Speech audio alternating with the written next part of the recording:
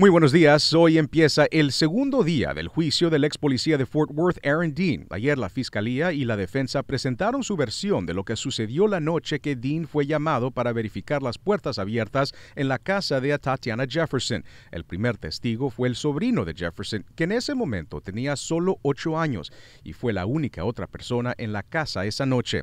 Ayer dio un cuento diferente de los hechos que fue testigo, testimonio que fue diferente de lo que había dicho en el pasado diciendo que su tía nunca levantó su propia arma hacia la ventana. Hasta ayer siempre ha dicho que Jefferson sí levantó su arma. Si Dean vio o no vio esa arma es clave para que el jurado decida si el disparo estaba justificado.